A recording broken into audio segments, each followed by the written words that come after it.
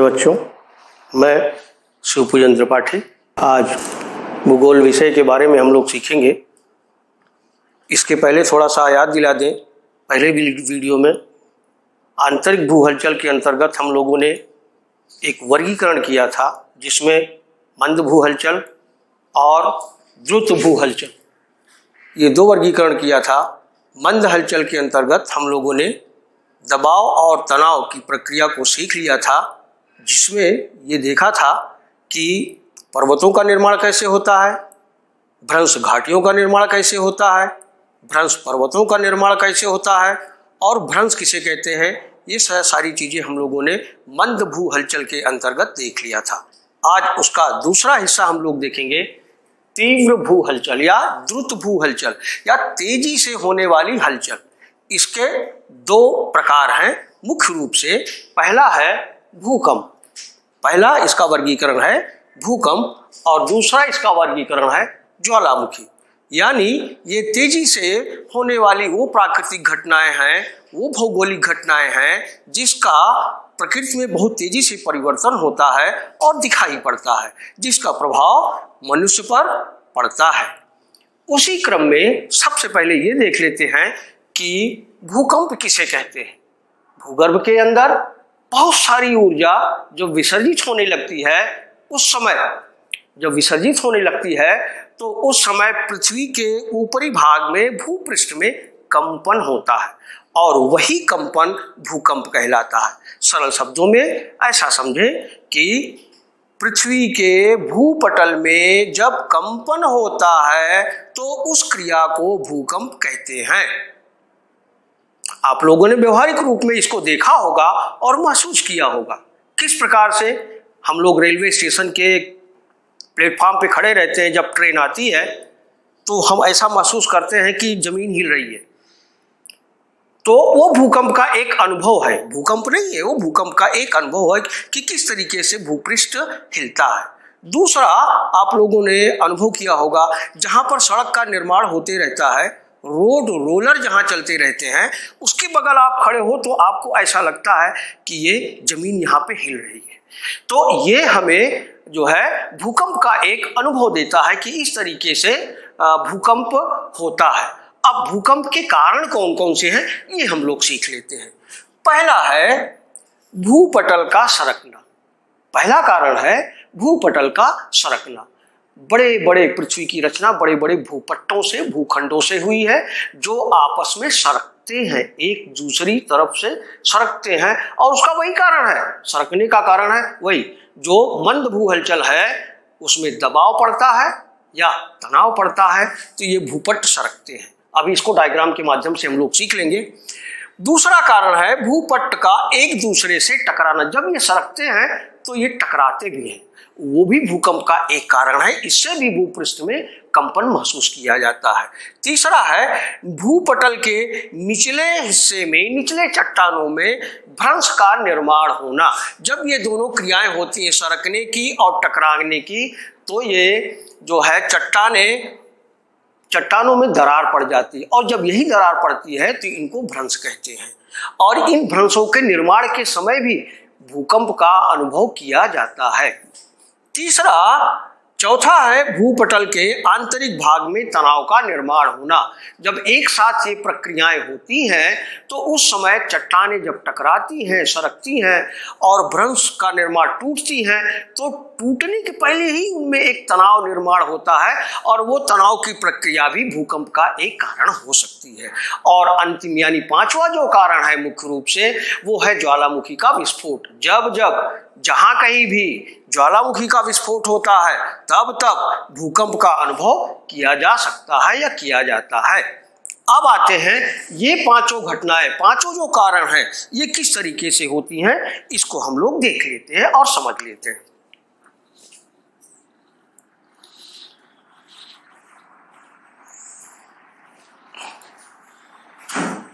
ये दो भूपट्ट हैं।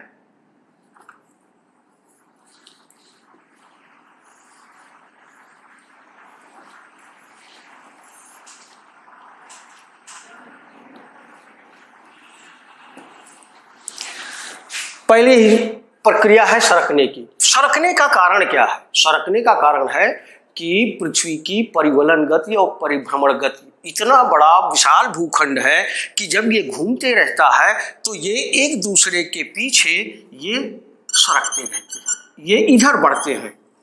और जब ये इधर बढ़ते हैं, ये हिस्सा तो यही हिस्सा नंबर एक इधर बढ़ा तो सरकने की क्रिया, नंबर एक।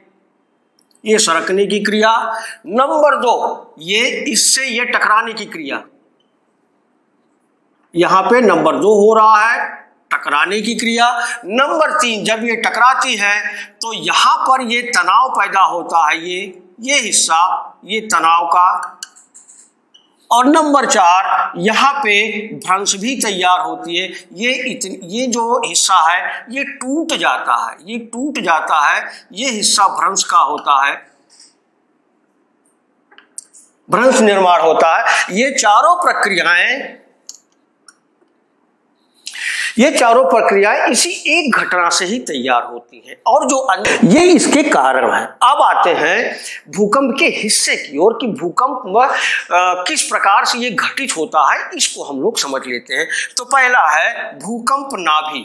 तो हम लोग भूकंप नाभि को समझ लेते हैं और भूकंपी अधिकेंद्र किसे कहते हैं, ये समझ लेते हैं। और ये घटना कैसे घटती है कौन कौन से साधन है, जो तरंगों के माध्यम से होता है, उसको तीनों को देख लेते हैं। इस तरीके से एक ये डायग्राम के माध्यम से हम लोग समझ लेते हैं इस बात को। पहले ये समझ लेते हैं, इसको कोर कहते हैं, क्रोड। यहाँ पर पृथ्वी की रचना को समझ लेना। थोड़ा सा पूर्व ज्ञान को अपने ये घटना कैसे होती है, इसको क्रोड कहते हैं। और ये जो दूसरा हिस्सा है, इसको ये दूसरा हिस्सा इसका ये क्रोड़ है ये, और इसको प्रावार कहते हैं। प्रवाह। भूकंपीय नाभि इसको कहते हैं। यहाँ से भूकंपीय तरंगे उत्पन्न होती हैं। इसकी परिभाषा देख लेते हैं। भूकंप नाभि किसे कहते हैं? जहाँ से भूकंपीय तरंगे उत्पन्न होती हैं, जहाँ से भूकंपीय तरंगे भूगर्भ में उत्पन्न होती हैं, उन्हें भूकंपीय नाभि कहते हैं। भूकंपीय नाभ कहते हैं। और यहाँ से जो तरंगे चलती हैं और सीधा ये भूपृष्ठ पर आती हैं,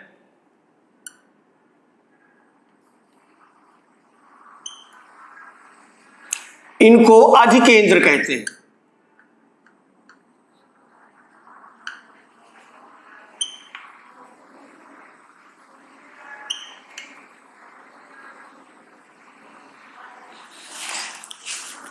जहाँ पर इन तरंगों का प्रभाव पड़ता है, भूपृष्ठ पर जहाँ पर इनका प्रभाव देखने को मिलता है, प्रभाव पड़ता है, उसे अधिकेंद्र कहते हैं। पुनः एक बार फिर से देखते हैं।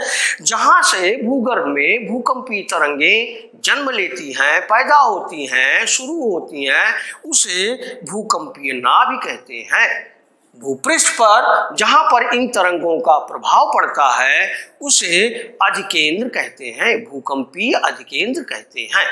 अब, ये दोनों बातें साफ़ हो गई कि भूकंपीय नाभि की स्थिति भूगर्भ में कहाँ है और भूकंपीय अधिकेंद्र की स्थिति कहाँ पर है। अब आते हैं तरंगों के प्रकार पर। ये जो तरंगे हैं, इनको प्राथमिक तरंगे कहते हैं।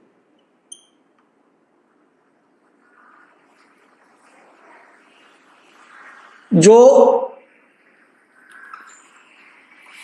जो सीधी चलती हैं बिल्कुल, जो तरंगे बिल्कुल सीधी चलती हैं, उन्हें प्राथमिक तरंगे कहते हैं। भूगर्भ में वो तरंगे जो बिल्कुल सीधी चलती हैं, वो प्राथमिक तरंगे कहलाती हैं। दूसरी तरंगे जो जिग जैग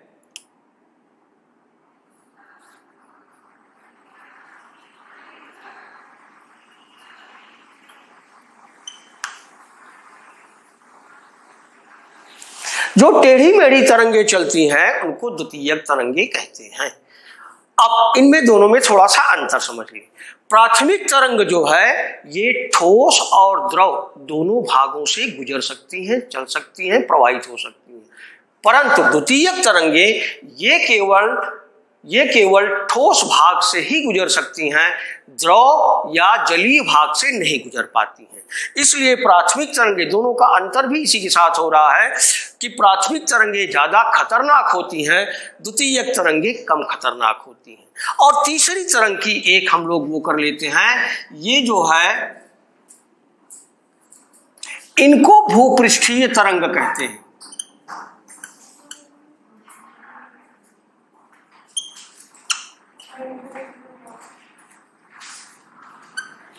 नंबर एक, प्राथमिक तरंग, नंबर दो, द्वितीय तरंग, और नंबर तीन, भूपृष्ठीय तरंग।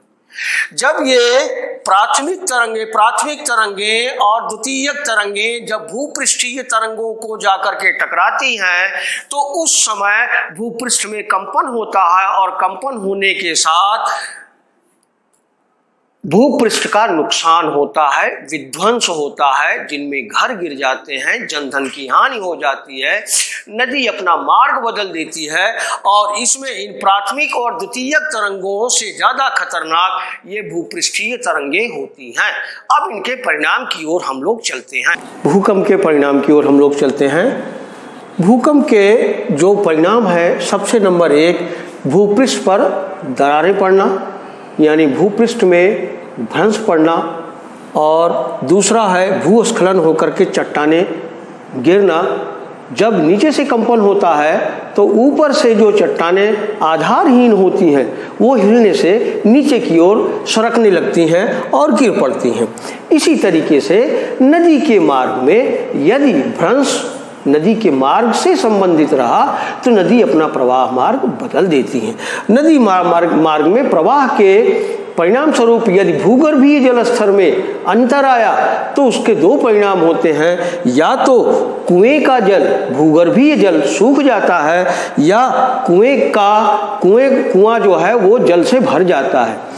पांचवा है ये, भूमि का ऊपर उठ जाना। भूकंप के अंतर्गत जब एक साथ बहुत अधिक मात्रा में दबाव पड़ता है तो भू भूमि जो है भूपटल वो ऊपर की ओर उठ जाता है और यदि उसमें तनाव की स्थिति पैदा हुई तो वो भूमि नीचे की ओर भी धस जाती है। सातवां इसका परिणाम है जलीय भाग में सागरीय भाग में सुनामी की उत्पत्ति होती है और सुनामी की उत्पत्ति की स्थिति में जो तटीय तटीय भाग में समुद्र तटीय या सागरीय भाग में जो, जो आवासीय क्षेत्र हैं और जो रिहायशी क्षेत्र हैं, उनमें जीव की और वित्त की बड़ी हानि होती है। और आठवां हिस्सा है, अपना आठवां परिणाम है, हिमाच्छादित प्रदेश में जहाँ पर बर्फ़ जमी रहती है, वो भूकंप के कारण एक बड़ी मात्रा में, विशाल मात्रा में वो बर्फ़ नीचे की ओर सरकने लगती है और इस तरीके से हिम चट्टाने नीचे की ओर गिरती हैं। नौवा, आवासों का गिरना और जनधन की हानि। भूकंप के अंतर्गत बहुत सारे मकान, बहुत सारे मकान गिर पड़ते हैं और उन मकानों के बीच में बहुत से लोग दब जाते हैं, बहुत से पशु दब जाते हैं, जिससे जीव की भी हानि होती है और धन की भी हानि होती है। सड़कों का टूट जाना या धस जाना, भ्रंश की स्थिति में यदि वही भूकंपीय प्रभाव सड़क मार्ग पर पड़ता है तो या तो वो सड़कें टूट जाती हैं या धंस जाती हैं, वो भी एक दुष्परिणाम भूकंप का है। इसी तरीके से संचार व्यवस्था अस्त व्यस्त हो जाती है और यातायात संचार, यातायात वो बाधित हो जाता है, एक दूसरे को समाचार नहीं मिल पाता है। और अंतिम है जो सबसे बड़ा खतरनाक है, जो बड़े बड़े जलाशय हैं, उनके बाँध या तो टूट जाते हैं या उनमें भ्रंश पड़ जाते हैं, जिनमें एक बड़ी मात्रा में जल नीचे की ओर प्रवाहित होने लगता है। इससे जन और धन की बड़ी हानि होती है और इस प्रकार से आज हम लोगों ने भूकंप के पूरे रूप को हम लोगों ने देखा कि भूकंप कैसे आता है और भूकंप में अधिकेंद्र क्या होता है भूकंपीय नाभि केंद्र क्या होता है, प्राथमिक तरंगे क्या होती हैं, द्वितीय तरंगे क्या होती हैं? भूपृष्ठीय तरंगे क्या होती हैं? और भूकंप के कौन कौन से कारण हैं? भूकंप के कौन कौन से परिणाम हैं? इन सारे तत्वों को हम लोगों ने देखा। भूकंप के दुष्परिणामों को हम लोगों ने सीख लिया है। अब प्रस्तुत है एक इससे संबंधित वीडियो जो आपकी संकल्पना को और स्पष्ट कर देगा कि ये घटनाएँ कैसे होती हैं और इनके दुष्परिणाम क्या क्या होते हैं।